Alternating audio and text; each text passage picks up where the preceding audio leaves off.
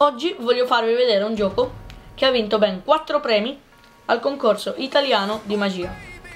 Per fare questo gioco mi servono 1, 2, 3 e 4 jolly. Vado a prendere il primo jolly e lo vado a mettere così sul tavolo. E a fianco al primo vado a mettere anche il secondo, ok? Basta un attimo e i jolly arrivano in mano. Se voi direte, è ovvio avendo 4 jolly tutti uguali, ma vi ricordo che questo gioco ha vinto ben 4 premi al concorso italiano di magia. Sapete perché? Perché questo è il primo premio, questo è il secondo premio, questo è il terzo premio e questo è il quarto premio.